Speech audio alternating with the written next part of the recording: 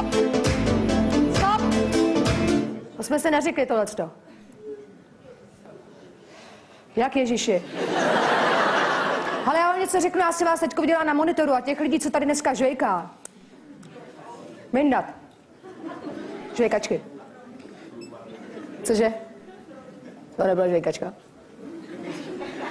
Řekli vám aspoň, doufám, teda u vchodu, o co tady dneska půjde.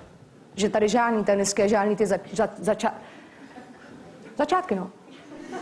Nesměj se, ale jo. Já totiž dneska vzpomínám, že já mám dneska vzpomínkový večer a já vám něco povím. Já jsem před těma 15 lety byla docela brutální děvče. Kouřila jsem metru a říkala jsem, vole.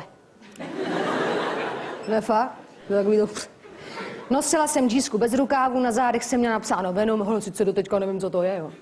A nějaká kapela, myslím, nebo nějak. A jak jsem se dneska říkala teda, že to jako rozjedem, žádný pije jezu, jo, rozumíš, to přešlo, je ty věci. Nech si to řeči, jo.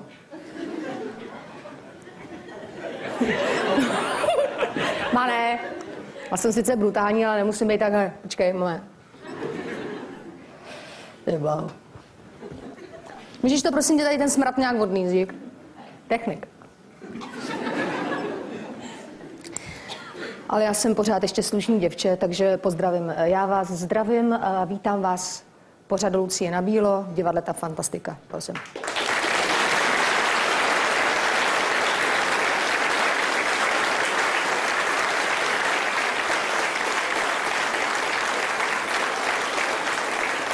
Takhle moc, se, takhle moc se tleská přeci na závěr, ne?